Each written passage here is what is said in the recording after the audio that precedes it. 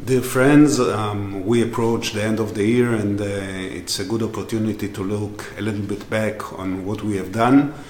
Um, we started the year uh, 2017 by signing a bilateral agreement on um, cooperation on research and development. Uh, it was signed in our capital in Jerusalem by Prime Minister Netanyahu and uh, then Foreign Minister Brende, and in a way it marked uh, our work during the year. Uh, later on, uh, we have uh, concluded the donation of a sophisticated uh, medical device and exoskeleton called ReWalk to Sunnaas Hospital.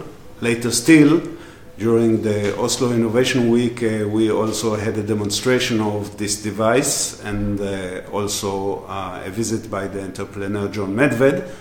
And uh, during the very busy uh, months of uh, September, we also had a, a, visit, a very important visit with a lot of follow ups of the Norwegian Research uh, Council to Israel.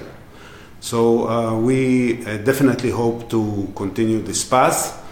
Um, as we approach the end of the year, we celebrate with a lot of light. We have Hanukkah, the festival of light, the Jewish feast, and then we have Christmas and then we have the end of the year, so it's a good opportunity to wish you all Happy Hanukkah, Merry Christmas, and a Happy New 2018. Thank you.